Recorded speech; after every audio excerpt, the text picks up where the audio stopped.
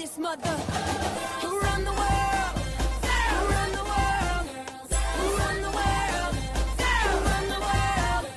It's hot up in here, DJ. Don't be scared to run this, run this.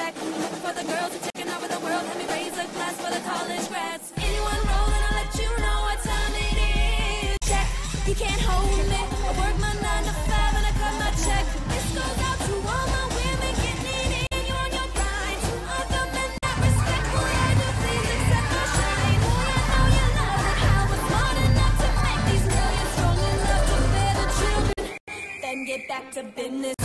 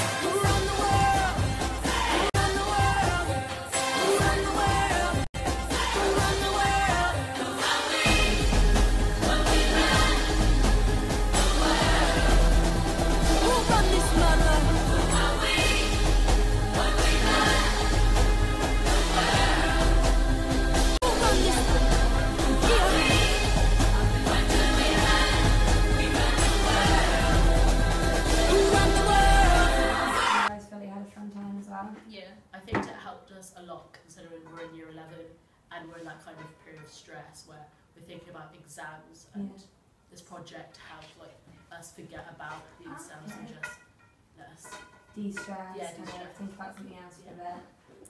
bit. Nice.